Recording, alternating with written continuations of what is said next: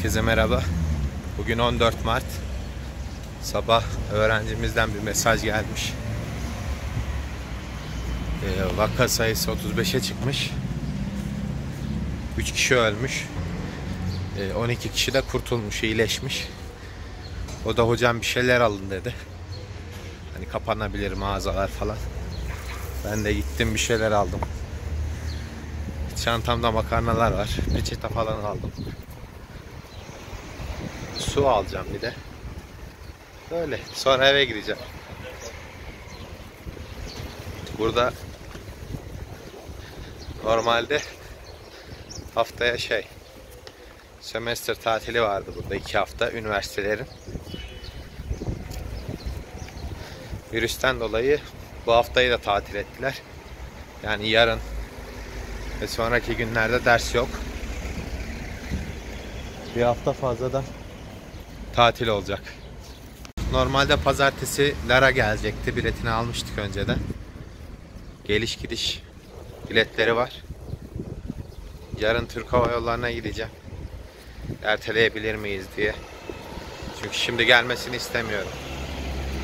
Bir, bir ay sonra falan durumlar netleşir ona göre gelsin veya gelmesin istiyorum.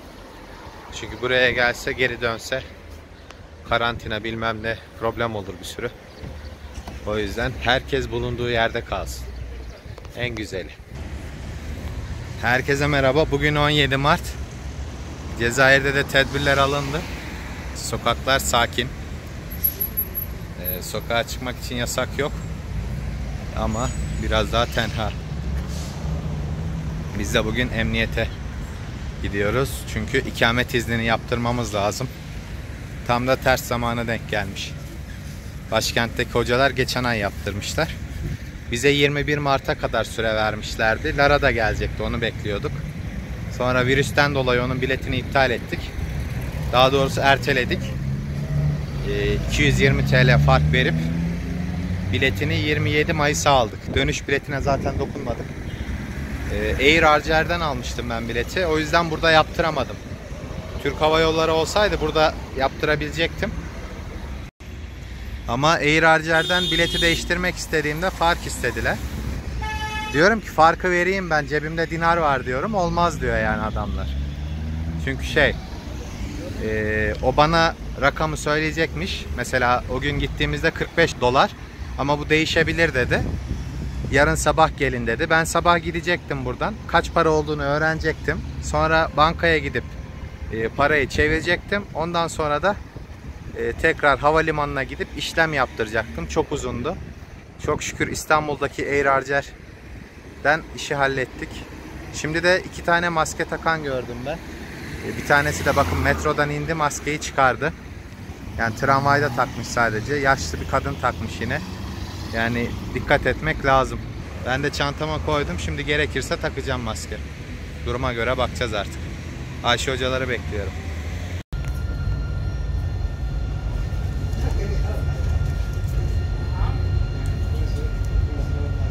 Ya şurada da demir varmış.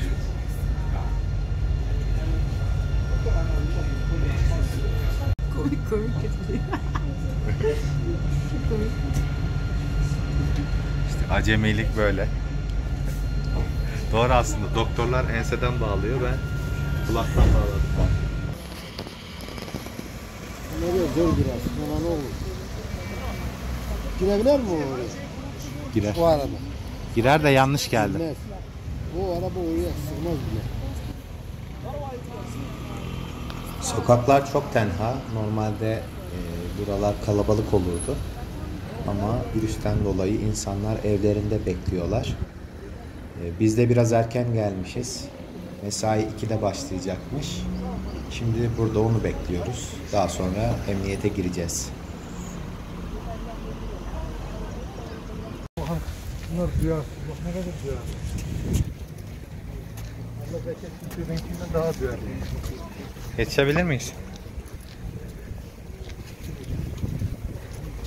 Elva hayır, hayır min ilaç. İlaçtan daha hayırlı olan şey. Tedbirler. Evet, tedbir. Öbürü nasıl? Tramvayda iki e, kadın görevli binen herkese hazırlamış oldukları broşürleri dağıtıyorlar. Halkı bilinçlendirmek için.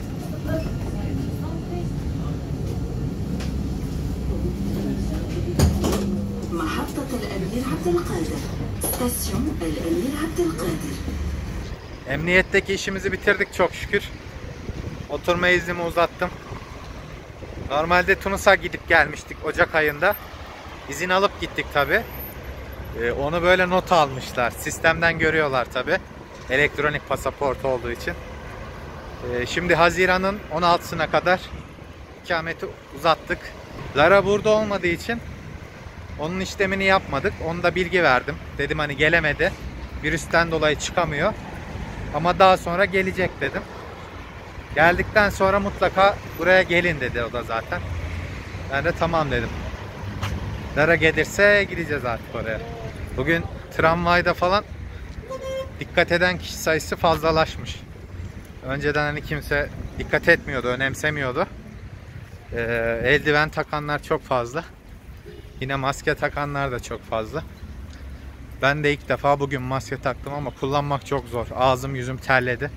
Hiç güzel bir şey değil. Allah her zaman takanlara yardım etsin. Marketlerde durum çok kötü değil ama bazı ürünler tükenmiş. İşte el sabunları, el dezenfektanları bitmiş mesela.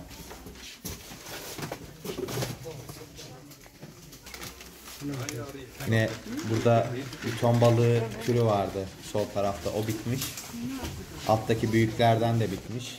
Bakın burada da insanlar şeyler arıyorlar. Pirinç azalmış, bulgur azalmış, makarnalar azalmış ama sürekli takviye ediliyor. Bazı raflar boşalmış.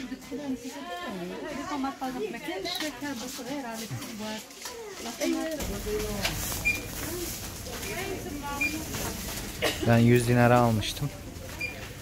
Şimdi buraya koymuşlar hem de 225 olmuş. Boş raflar var. Ben de bir şeyler aldım.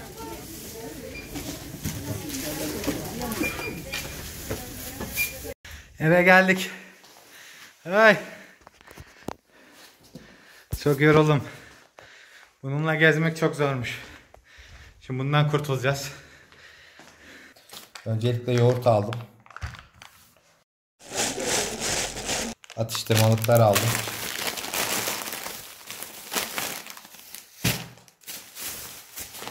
Makarna aldım. Zaten evde vardı ama fazla fazla almış oldum. Şöyle şekersiz fıstık ezmesi, bal. Sık tüketiyorum bunları. Yine ton balığı. Tabii ki çay aldım.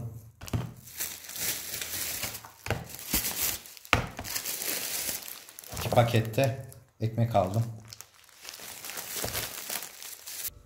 Yine bugün eve su aldım. Ne olur ne olmaz diye. Vücut direncini yükseltmek için e, Lara'nın tavsiyesi bir karışım içiyorum bazen. Zencefil, e, zerdeçal e, bir bardağa koyuyorsunuz. Üzerine sıcağa yakın su koyuyorum. Kaynamış değil ama içilebilir sıcak su. E, limon sıkıyoruz. Bazen tadını sevmediğim için bal ekliyorum. Siz de bal ekleyebilirsiniz. Hatta uyumadan önce bunu yaparsanız çok güzel terletiyor insanı. Aklınızda olsun. Cezayir'deki son durumla ilgili de bir bilgi vermek istiyorum. Çünkü vaka sayılarında ciddi bir artış var. Dünya genelinde. Şu an Cezayir'de 61 kişi e, tespit edilmiş ve 5 tane de ölüm raporlanmış. Ölü sayısı 5'e çıkmış. E, dolayısıyla Cezayir'de de önlemler alınmaya devam ediyor. Türkiye'de de biliyorsunuz 98 e, vaka tespit edildi. Bir tane de ölüm raporlandı. E, lütfen bu süreçte siz de evlerinizde kalın. Kişisel temizliğinize ve sosyal izolasyona dikkat edin. Bu süreci hep beraber atlatacağız. Hoşçakalın.